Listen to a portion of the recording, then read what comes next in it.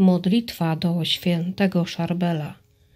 Boże Ojcze Przynajświętszy, który tak ogromnie ukochałeś człowieka, że zesłałeś swojego jedynego Syna dla jego zbawienia, który zesłałeś mu na zawsze swojego Ducha Świętego, aby objawił mu to wszystko, co musi poznać, by stać się Twoim przybranym synem i aby uznał Jezusa za Twojego jedynego syna.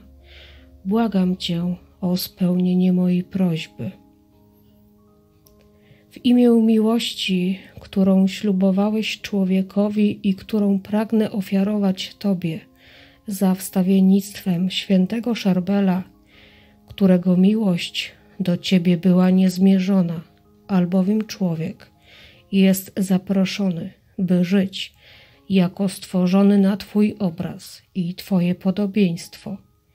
Jest on przeznaczony do tego, by być w Tobie i z Tobą, by prosić w Twoje imię o wszystko, czego potrzebuje, bo jedynie Ty jesteś zdolny do dania mu tego, zwłaszcza jeśli błaga Cię przez wstawiennictwo Twojego ukochanego świętego Szarbela. Amen.